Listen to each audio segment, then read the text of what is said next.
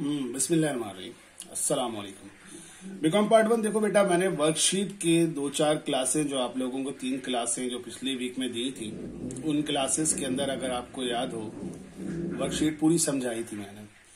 लेकिन उन camera work की वजह से कुछ ऐसा था कि उसकी क्वालिटीज अच्छी नहीं थी। तो मैं एक कोशिश कर रहा हूँ कि ये वर्कशीट आपके सामने दोबारा रखूँ और एक दफ़ा आपको दोबारा समझा दूँ, ताकि किसी भी किस्म की आपको कैमरे की क्वालिटी की वजह से जो प्रॉब्लम्स थी वो सॉल्व हो जाए।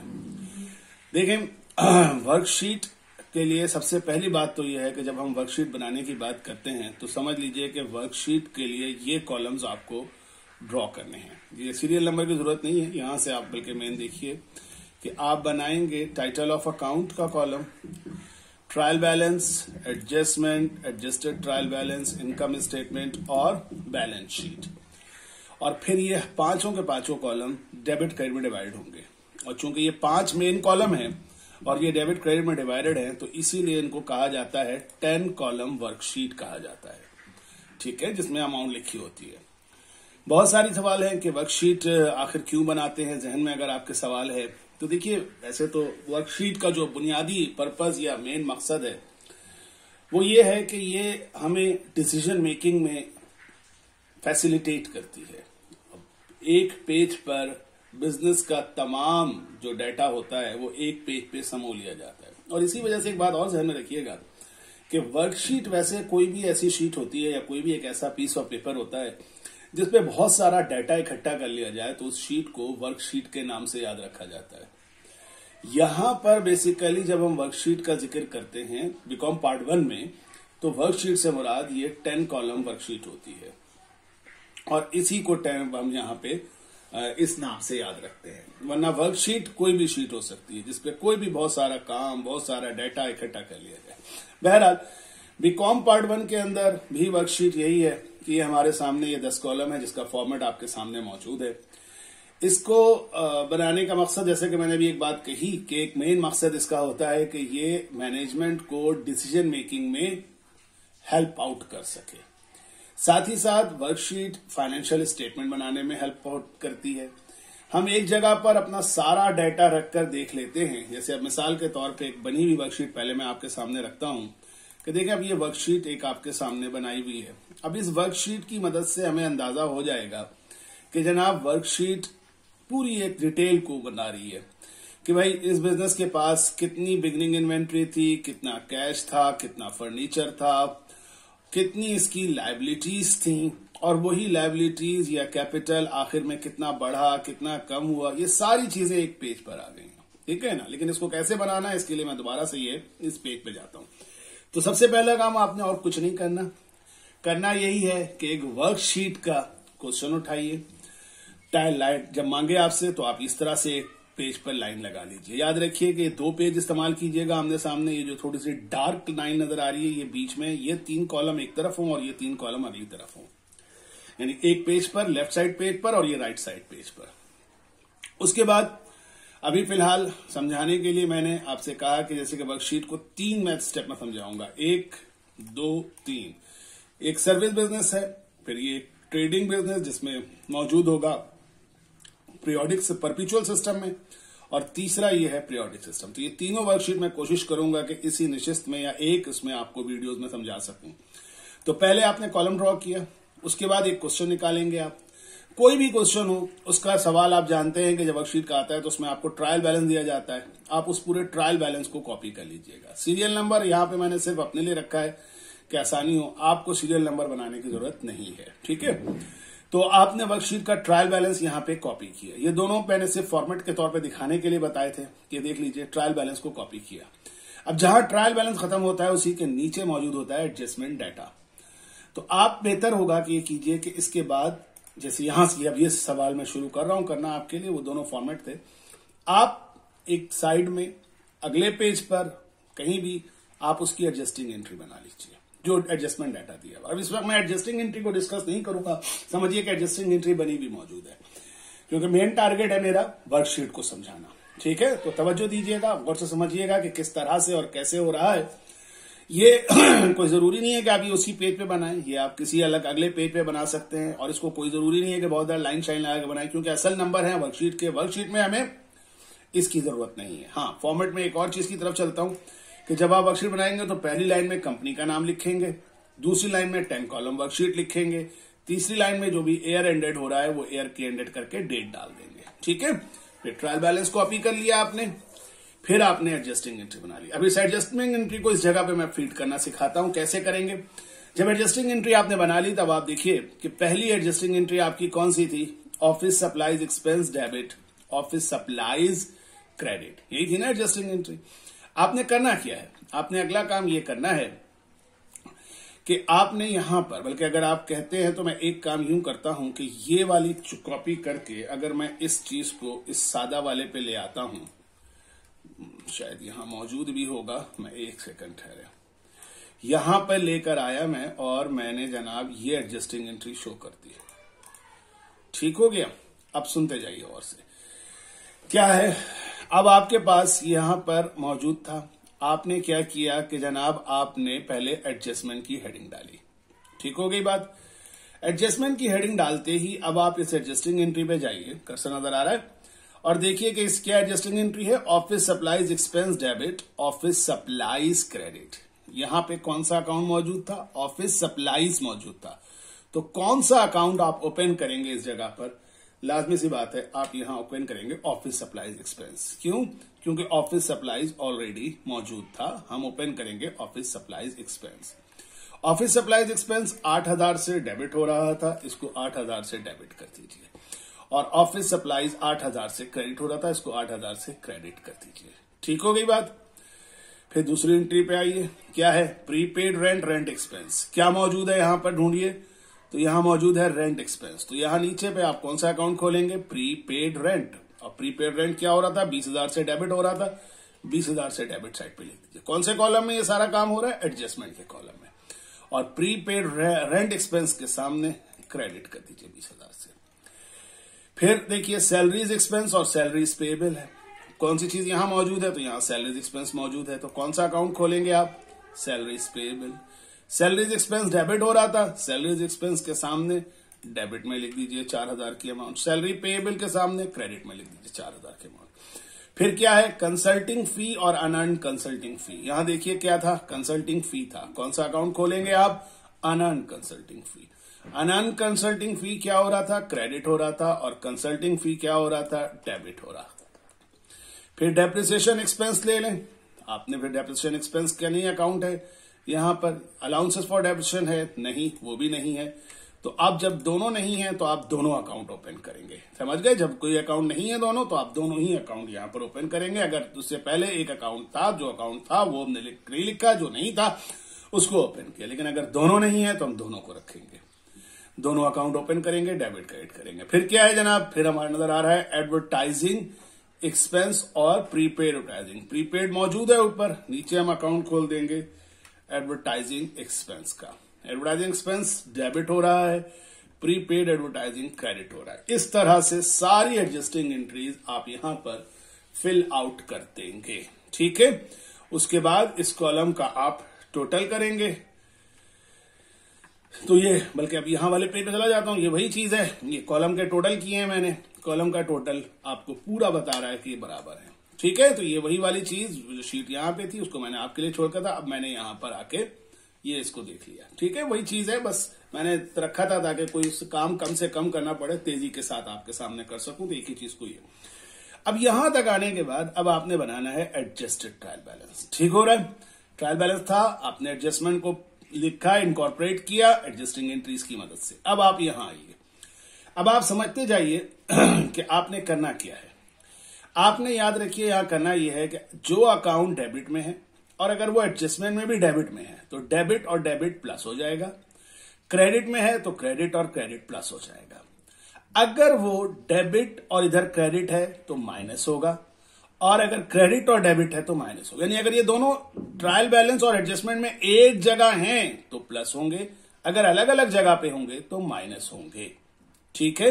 और फिगर वहाँ आएगी, जहाँ पर वो बड़ी फिगर होगी। कैसे? अब देखिए। मिसाल के तौर पे अगर हम बात करें कैश की तो कैश में कोई एडजस्टमेंट नहीं है। तो कैश सीधा वैसे ही आपके पास एक लाख रुपए आ जाएगा। इसी तरह अगर आप देखें तो आपके पास अकाउंट रिसीवेबल में भी कोई एडजस्टमेंट नहीं है। ये भी as it is debit side पे आ जाएगा। क्यों? क्योंकि ट्रायल बैलेंस में डेबिट साइड में था, एडजस्टमेंट में भी ट्रायल भाई उसी अमाउंट के साथ डेबिट में लिखा। लेकिन अगर हम प्रीपेड एडवर्टाइजिंग को देखें, जो तीसरे नंबर पे है और ये तीसरा नंबर मैंने लिखा ही सीधे सीरियल नंबर ताकि मैं बात करते हुए बता सकूँ। तीसरे नंबर पर जो सीरियल नंबर में प्रीपेड एडवर्टाइजिंग नज़र आ रहा है, ये डेबिट है, मगर एडजस्टमेंट में क्या हो रहा है? क्रेडिट हो रहा है। तो सोचिए जरा डेबिट क्रेडिट क्या होगा? माइनस होगा। कहाँ आना चाहिए? डेबिट साइड पे। क्यों आना चाहिए डेबिट साइड पे? क्योंकि ये एक बड़ी फिगर डेबिट में है। तो पाँच हज़ार आप देखिए डेबिट साइड में लिख दिया इसी तरह अगर समझ में आती है बात तो दोबारा देखिए। ऑफ़िस सप्लाई दस हज़ार से डेबिट था। एडजस्टमेंट में क्रेडिट हो रहा था, फिर डेबिट साइड पे कितना आ गया? दो हज़ार। इस वाले अकाउंट में तीन लाख का इक्विपमेंट है, इसमें कोई एडजस्टमेंट नहीं थी, कुछ नहीं था as it is debit side पे आ जाएगा।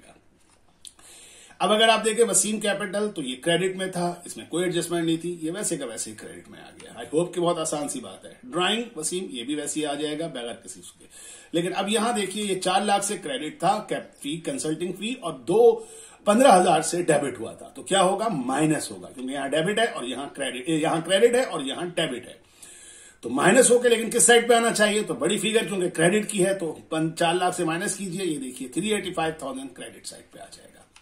इसी तरह इस चार हज़ार, ये डेबिट है, ये भी डेबिट है, दोनों प्लस होके पैंतीस हज़ार डेबिट साइड पे। अब देखिए, साठ हज़ार से डेबिट है और बीस हज़ार से क्रेडिट है तो चालीस हज़ार से डेबिट में आएगा। इसमें कोई फ़र्क नहीं, वैसे इसमें कोई चेंजिंग नहीं, कोई एडजस्टमेंट नहीं ऐसे। और ये एडजस्टमेंट वाले, चूँकि ट्रायल में नहीं है तो ये भी वैसे ही आते जाएँगे बगैर किसी परेशानी के। जहाँ पे है, वहाँ शिफ्ट हो जाएँगे, बगैर उसके। कोई आपने कोई कारनामा नहीं करना, कुछ नहीं करना, ये दोनों अपनी जगह पर वैसे ही आ जाएँगे। और इसके बाद अगर आप देखें तो इसका टोटल करके देख लीजिएगा, ये टोटल भी इक्वल होना चाहिए।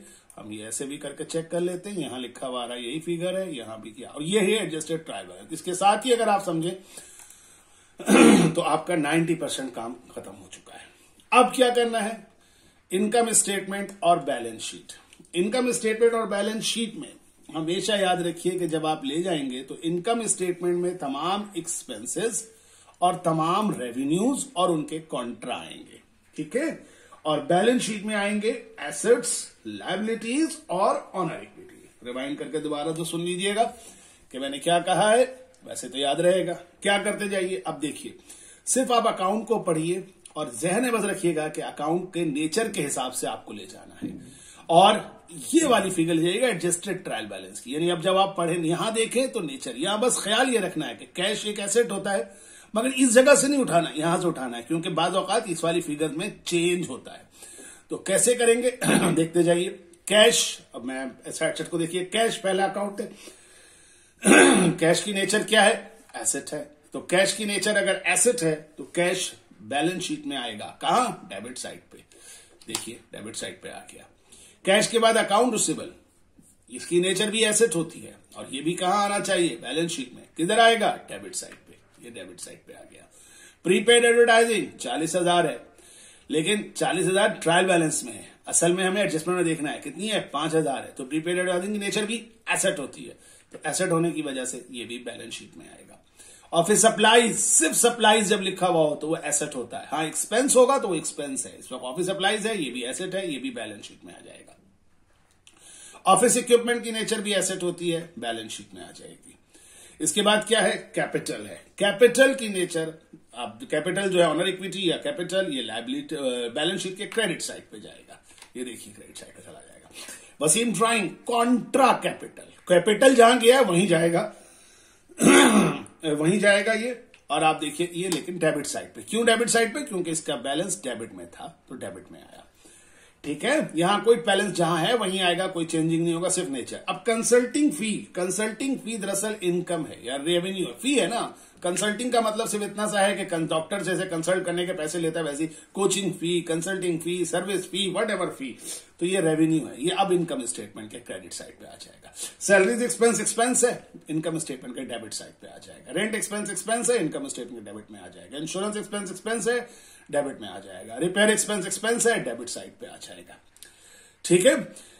इसके बाद ऑफ़िस सप्लाईज की नेचर भी एक्सपेंस है एक्सपेंस डेबिट साइड पे आ जाएगा। उसके बाद प्रीपेड रेंट है। प्रीपेड रेंट की नेचर क्या होती है? क्या एक्सपेंस होती है? नहीं। प्रीपेड रेंट की नेचर एसेट होती है।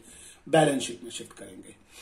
फिर सैलरीज पेएबल लाइबिलिटीज है। ये हमारे पास कहा जाएगा? ये जाएगा बैलेंस शीट में। अनर्न कंसल्टिंग फ़ी अनर्न जब है तो अनर्न की नेचर भी लाइबिलिटी होती है, ये भी बैलेंस शीट में जाएगा। डेप्रिसिएशन एक्सपेंस एक्सपेंस है। इनकम स्टेटमेंट में। अलाउंसेस फॉर डेप्शन चूँकि कॉन्ट्रा एसेट है तो कॉन्ट्रा एसेट एसेट की तरह जाता है बैलेंस शीट में, लेकिन क्रेडिट साइड पे। आखिर में एडवर्टाइजिंग एक्सपेंस एक्सपेंस है, ये आ गया। अब आपने जब ये काम कर लिया तो क्या करिएगा? ये चारों टोटल आए आपके पास, ठीक है ना? ये चारों टोटल को अगर आप गौर से देखिए तो ये चारों टोटल अलग अलग हैं। ये कितना आया? 164 ये कितना आया? इनकम स्टेटमेंट का डेबिट कितना आया? 164 इनकम स्टेटमेंट क्रेडिट कितना आया? 385 बैलेंस शीट का 932 क्रेडिट कितना? 711 अब इसका डेबिट और इसका क्रेडिट का फ़र्क लीजिए। मैं इसको जरा डिफरेंट कलर से वो कर देता हूँ। ये देखिए। तो इसके डेबिट और क्रेडिट का डिफरेंस 221 आ रहा है। और अब इनका अगर आप देखिए तो इनका जो डेबिट और क्रेडिट का डिफरेंस नज़र आ रहा है, वो नज़र आ रहा होगा आपको वही 221 यानी आप इसमें से माइनस कर देंगे इन दोनों को पेत और यही इसका सही है कि दोनों का डिफरेंस बराबर होगा। और चूँकि ये 221 वहाँ लिखना है, जहाँ कमी है, इधर 385 है इनकम स्टेटमेंट का रेवेन्यू 385 जबकि एक्सपेंस 164 तो इसको इसलिए नेट प्रॉफिट हो रहा है। कितने का? तो नेट प्रॉफिट हो रहा है two lakh twenty one thousand का। और यही चीज़ बैलेंस शीट में ज़्यादा इसलिए होती है कि प्रॉफिट होने से एसेट बढ़ जाता है। तो एसेट साइड बढ़ा दिया कैपिटल में इतना पैसा मजीद ऐड हो जाएगा। तो दिस इज़ द वे आपको वर्कशीट लेके चलना है, बनानी है, रखनी है। तो ये जहन में रखिएगा, पहले आपने करना है इसी तरह से और इसी लेके चलना है। अब ये था एक सर्विस बिज़नेस का। कैसे पहचाना? तो ये मैं पहले भी बता चुका हूँ सर्विस बिज़नेस में सेल्स नहीं होती है सेल्स नहीं होती है तो मर्चेंडाइज नहीं होती है। ये सब चीज़ें मौजूद ना होने की वजह से सर्विस और सबसे आसान वर्कशीट सर्विस बिज़नेस की है। इसके बाद एक और सवाल वर्कशीट का अगला, ये देखिए। ये क्वेश्चन है 2005 प्राइवेट का, ये वाला था 2006 रेगुलर का, ये था टू है 2005 प्राइवेट का। ये भी वर्कशीट का सवाल है, लेकिन ये वर्कशीट के सवाल में सेल्स मौजूद है। तो ये सर्विस बिज़नेस नहीं है, ये एक ट्रेडिंग बिज़नेस है। लेकिन ट्रेडिंग बिज़नेस में यहाँ पर मर्चेंडाइज इन्वेंट्री है और कॉस्ट ऑफ़ गुड सोल्ड है। बस यही फ़र्क सहन में रखते जाइएगा इसको कैसे करेंगे? तो सबसे पहला काम यही है कि देखिए एडजस्टिंग एंट्री बनाई हुई है। इस एडजस्टिंग एंट्री को यहाँ इनकॉर्पोरेट किया। अब ये पहले से बनी हुई है, मैं इसको बिटा नहीं रहा हूँ, आप देख सकते हैं कि अनन रेवेन्यू था अनन रेवेन्यू फोर्टी एट थाउज़ेंड से डेबिट और commission revenue forty eight thousand से क्रेडिट था।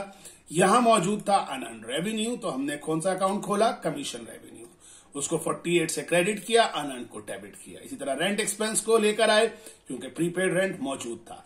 इसी तरह से वेजेस एक्सपेंस को लेकर आए वेजेस पे बिल खोला हमने वहाँ पे, क्योंकि वेजेस एक्सपेंस मौजूद था। डेप्रिसिएशन एक्सपेंस चूँकि दफ़ा अलाउंसेस फॉर डेप्रिसिएशन चौथी एंट्री डेप्रिसिएशन एक्सपेंस मुझे नज़र नहीं आ रही। एक मिनट, मुझे देखना पड़ेगा क्या हुआ है। डेप्रिसिएशन एक्सपेंस कहाँ चला गया? तेईस चौबीस चौबीस चौबीस एक सेकंड पॉज कर रहा हूँ, मैं भी सही करके बताता हूँ। हम्म। तो ये मैंने थोड़ा सा रह गया था शायद एक तो मैंने इसको दोबारा अटेम्प्ट किया और ये देखिए, आपके पास डेप्रिसिएशन एक्सपेंस तो ये डेप्रिसिएशन एक्सपेंस और अलाउंसेस फॉर डेप्रिसिएशन चूँकि नहीं था मौजूद तो फिर वही दोनों अकाउंट खोला, पाँच हज़ार से डेबिट पाँच हज़ार से क्रेडिट बैड डेट एक्सपेंस अठारह सौ चालीस से डेबिट अठारह सौ चालीस से क्रेडिट अब देख सकते हैं कि आप एडजस्टमेंट का टोटल यही आ रहा है सिक्सटी सेवन यहाँ देख लीजिएगा, जब इस तरह पंच करते हैं तो यहाँ वर्कशीट में इस जगह पे आ रहा होता है। और मैं यही कहूँगा कि इस तमाम उसको ना जरा सा लैपटॉप पे देखने की कोशिश कीजिएगा मोबाइल पे देखिएगा तो फिर चीज़ें जरा सी वो रहेंगी। अब ये आने के बाद, इसके बाद अब आपने ये कंप्लीट किया, इसी तरह से फिर एडजस्टेड ट्रायल बैलेंस बनाया आपने, ठीक है ना? एडजस्टेड ट्रायल बैलेंस बनाया और लेके चले आप। जी तो ये मैंने मजीद कर दिया अब आप ये देखें ये टोटल बराबर था, जैसे कि मैंने अभी दिखाया आपको। ये दोनों साइड पे बराबर है। अब मैंने ये साफ़ इसलिए कर दिया कि अब मैं आपके सामने करता हूँ इसको, ठीक है? अब एडजस्टेड ट्रायल बैलेंस किस तरह से होगा तो आपने देखना यही है एडजस्टेड ट्रायल बैलेंस में कि जनाब एडजस्टेड ट्रायल बैलेंस जो है, वो आपके पास क्या नज़र आ रहा है? तो कैश डेबिट साइड पे था डेबिट साइड पे आ जाएगा। कोई एडजस्टमेंट नहीं as it is merchandise inventory याद रखना अब ये मर्चेंडाइज इन्वेंट्री की नेचर अगर कॉस्ट ऑफ़ गुड सोल्ड के साथ है तो ये मर्चेंडाइज इन्वेंट्री की नेचर एसेट होती है। और ये डेबिट साइड पे आएगा, ये देखिए। ठीक है, मैं दोबारा रिपीट करूँगा अभी इस बात को। प्रीपेड रेंट क्योंकि डेबिट है क्रेडिट हो रहा है, लेकिन डेबिट साइड ज़्यादा है तो अगेन ये डेबिट में आएगा। अकाउंट रिसेबल कोई चेंज नहीं। इक्विपमेंट कोई चेंज नहीं। ड्राइंग कोई चेंज नहीं। कॉस्ट ऑफ़ गुड सोल्ड कोई चेंज नहीं। यूटिलिटी एक्सपेंस कोई चेंज नहीं, लेकिन अब ये वेजेस एक्सपेंस दोनों 45 और 7000 डेबिट में है तो दोनों प्लस हो जाएँगे।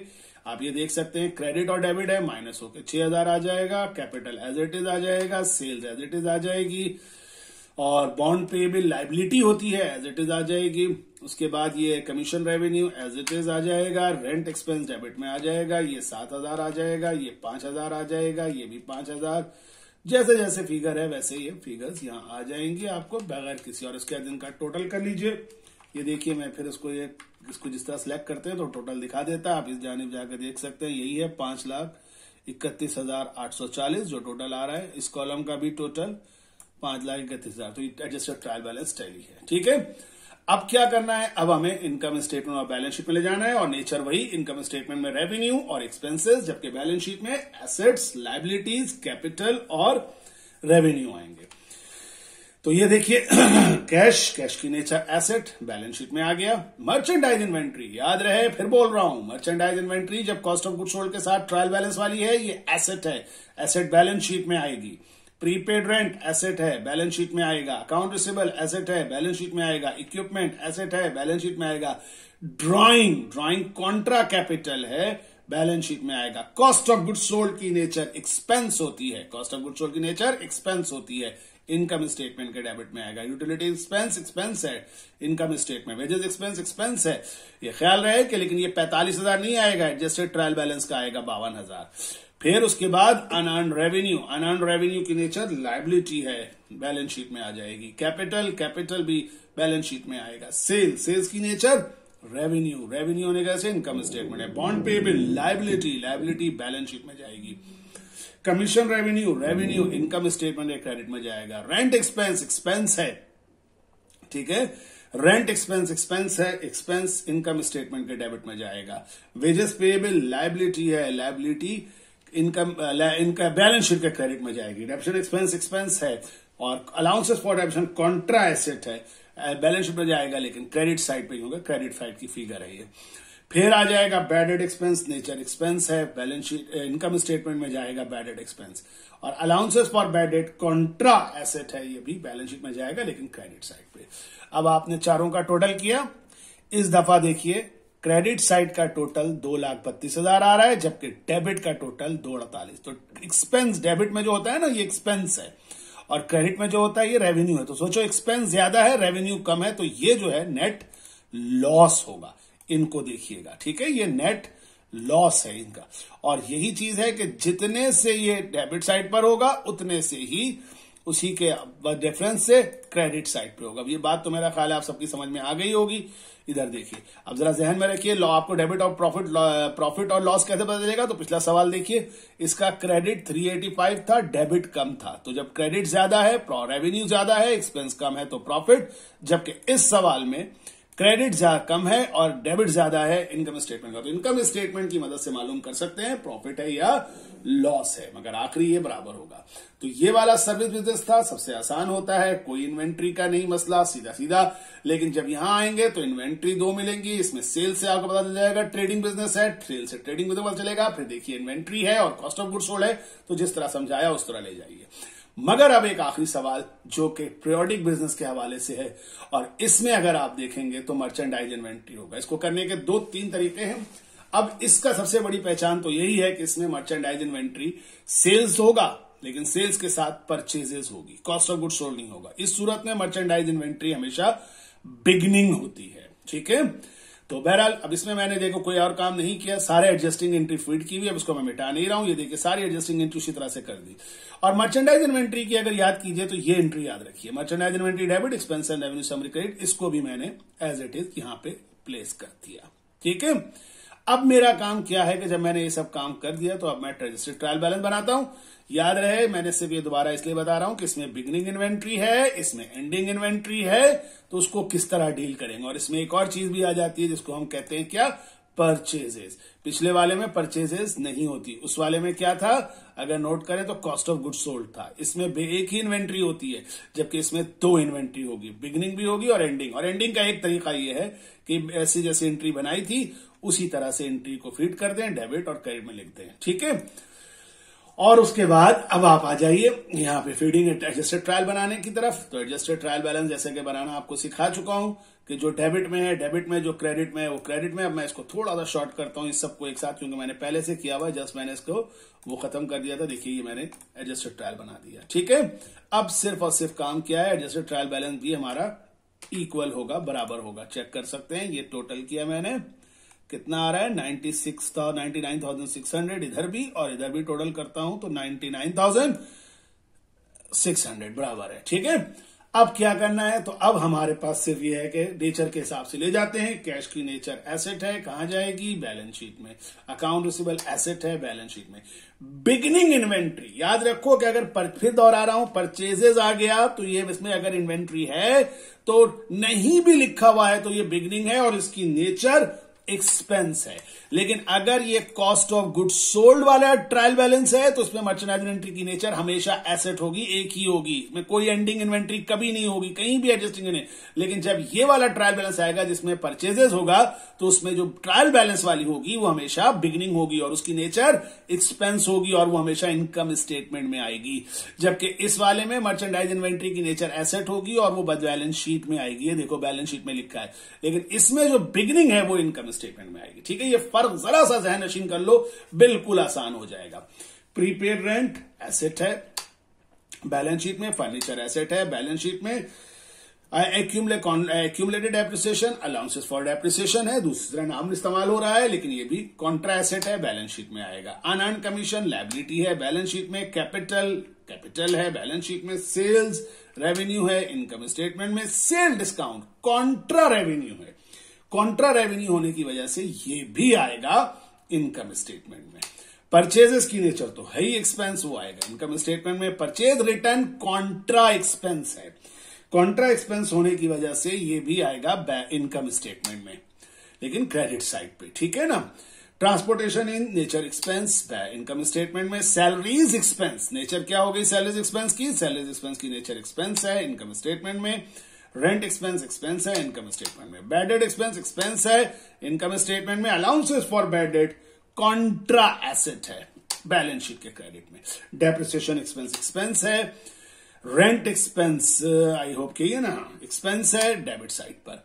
कमीशन इनकम रेवेन्यू है इनकम स्टेटमेंट के क्रेडिट साइड पे। सैलरी पेएबल लाइबिलिटी है बैलेंस शीट के क्रेडिट साइड पे। अब आ जाता है मर्चेंडाइज इन्वेंट्री एंडिंग तब जैसे मैंने बताया कि इसके दो तरीके और मैं भी दोनों तरीके बताने जा रहा हूँ।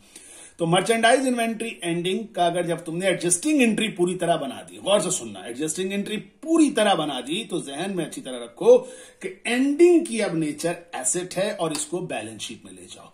लेकिन ये जो उसके अगेंस्ट है, ये income expense and revenue summary तो ये रेवेन्यू के साथ है। याद है एडजस्टेंडिंग इन्वेंट्री क्लोज भी इस रेवेन्यू के साथ होती थी, इसलिए इसको इनकम स्टेटमेंट के क्रेडिट में ले जाओ। तो याद रखो, अगर एंट्री बनाते हो तो एंट्री बनाने के बाद एंडिंग इन्वेंट्री को बैलेंस शीट के डेबिट में और एक्सपेंस एंड रेवेन्यू समरी अब एक्सपेंस एंड रेवेन्यू समरी की जगह मैंने आपको पहले ही बताया था, कभी प्रॉफिट और लॉस अकाउंट हो सकता है, कभी इनकम और लॉस समरी अकाउंट हो सकता है, इसको हमेशा क्रेडिट में लेना। ये लेते ही आप देख सकते हैं कि डेबिट साइड और क्रेडिट साइड बिल्कुल इक्वल होगा। ठीक है?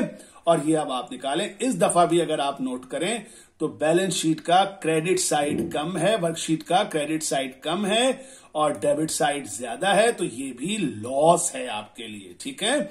इस सवाल में भी पाँच हज़ार नौ सौ का लॉस हमें नज़र आ रहा है।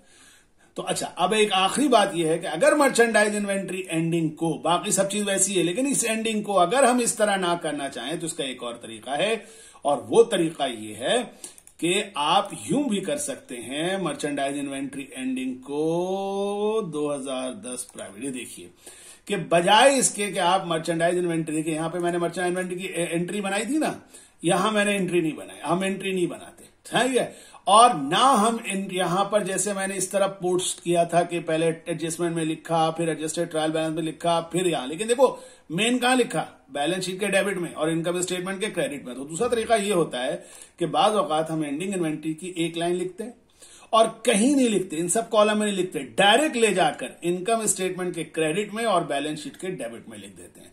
तो ये तरीका भी सही है, क्योंकि पर्पज यही था कि वो इनकम स्टेटमेंट के डेबिट में आए बैलेंस शीट के डेबिट में आए और इनकम स्टेटमेंट के क्रेडिट में आए।